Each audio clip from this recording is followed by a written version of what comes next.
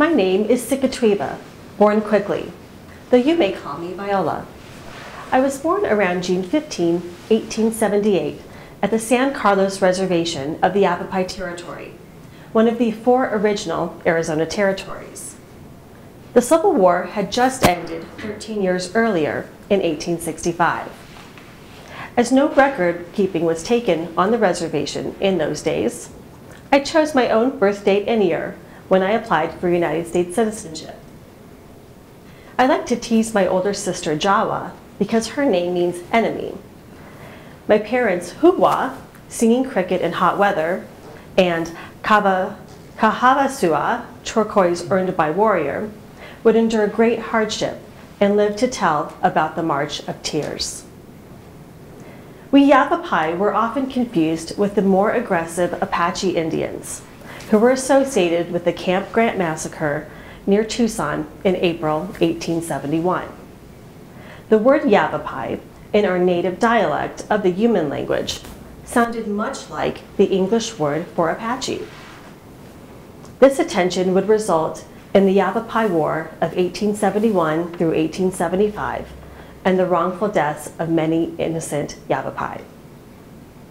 Our Yavapai people, along with Apaches and others, were forcibly marched to the San Carlos Reservation while the soldiers rode on ponies. We call this deadly journey the March of Tears. Lacking shoes, clothing, rest, sufficient food or medicine, and being forced to cross rivers in harsh conditions, many of our children and elderly perished on the journey. Of the 1,500 Yavapai that began the march to San Carlos in 1874, 25 years later, only 200 remained.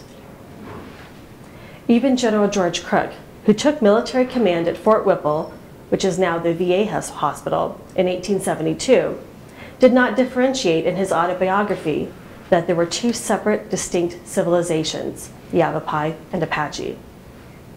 My half-brother and stepfather would later both serve as scouts for General George Crook and fight against the Apache. In 1882, General George Crook would again engage the Yavapai, this time with compassion, and would be integral in restoring peace on the reservation.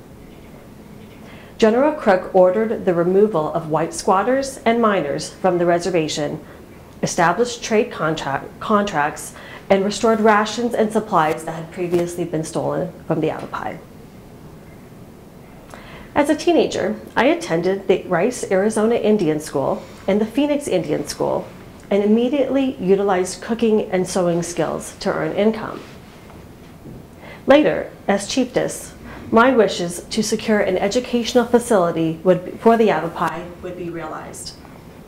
A land exchange coordinated by my daughter Grace in 1966 is today Yavapai College.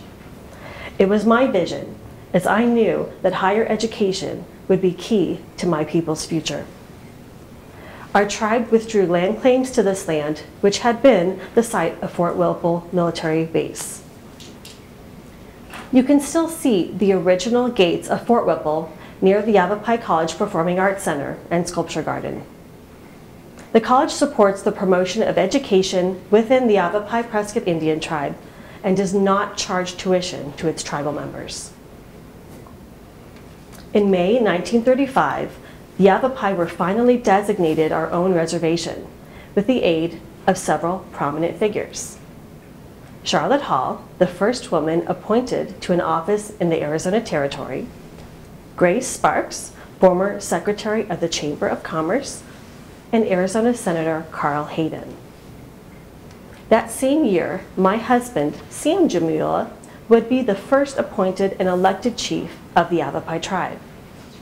I would have the honor of making acquaintances with the likes of New York City Mayor LaGuardia and presidential candidate Senator Barry Goldwater. Following the tragic death of my husband in a horse riding accident in 1940, I became the first chiefess of the Yavapai tribe and the first chiefess in Northern America.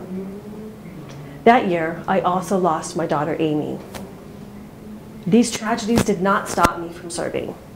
I would lead my people for 26 years and perfect the art of basket weaving, the sale of which enabled financial resources to build our community. The Great Depression would prove to catalyze prosperity among our people. President Franklin Delano Roosevelt created the Civil Works Administration, followed by the Works Progress Administration, which provided aid to build homes and a community room on the reservation. I was called upon to teach basket weaving to many women, and some of my pieces were sent to the Smithsonian Museum in Washington, D.C. Our baskets, called gugu, often start with a black center to represent the darkness that existed before the creation of the world. And many baskets depict an alternating white and black figure with a six-pointed star to show strong friendships built between the white man and the Native American. One of my baskets became the official logo, which the Yavapai tribe uses today. I am so blessed to have been a part of a powerful movement of equality in which many diverse groups came together in a common religion and a common worship. Religious structures had not existed on reservations, and many Indians saw religion as a practice of white man. In 1922, a structure was built for the Yavapai Indian Mission, and I became a Sunday school teacher and elder. In 1959, we broke ground for the Trinity Presbyterian Church, the first Native American church to largely welcome Anglo members. In 1986, I was elected into the Arizona Women's Hall of Fame, where I shared my dream. All we want is equal opportunity and the right to take our place as full-fledged Americans. Succeeding me after my passing in 1966, a hereditary chiefess would continue advising the tribal council until the 1990s. My eldest daughter, Grace Mitchell, led the tribe after me and served in the 1960s and 1970s. Following Grace's death, my daughter Lucy served in the 1970s and 1980s. Following Lucy, my granddaughter Patricia McGee served as tribal president for over 20 years, inspiring personal growth and economic development.